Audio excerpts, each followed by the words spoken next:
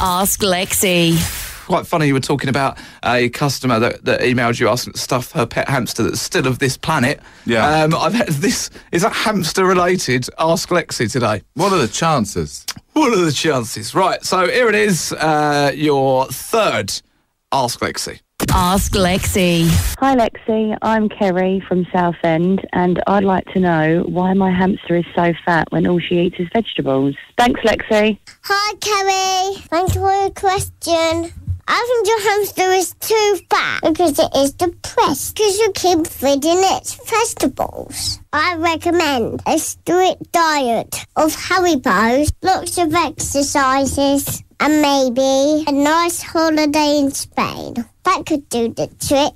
Thanks for the question. Bye bye. Ask Lexi.